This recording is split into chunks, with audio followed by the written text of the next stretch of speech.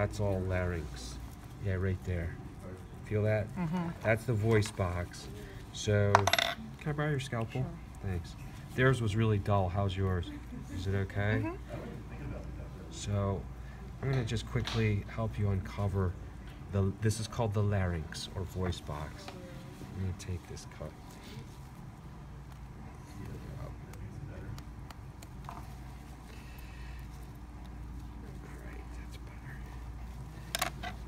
So the hyoid bone sits right. This is all larynx Mhm. from here to here.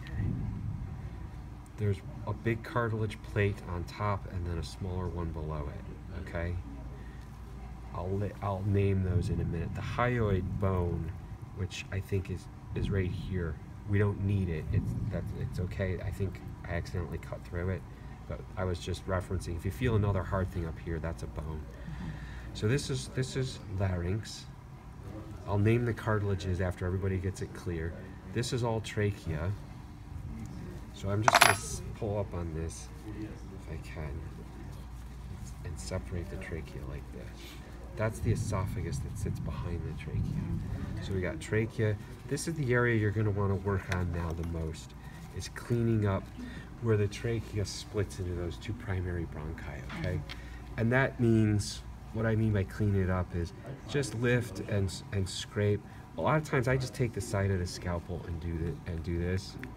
And and those primary bronchi will sometimes be exposed just by scraping tissue away because the trachea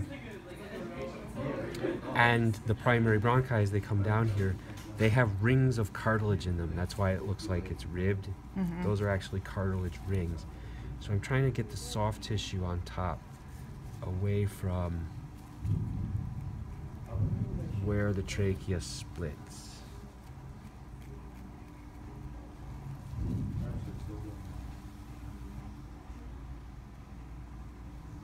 Always makes me think somebody's bowling upstairs there's air, con- air conditioners start going See how I'm doing this, Daima? Mm-hmm. I'm just kind of scraping. That will ah. So, so here's right between my thumb and the scalpel. I think is the first branch going that way.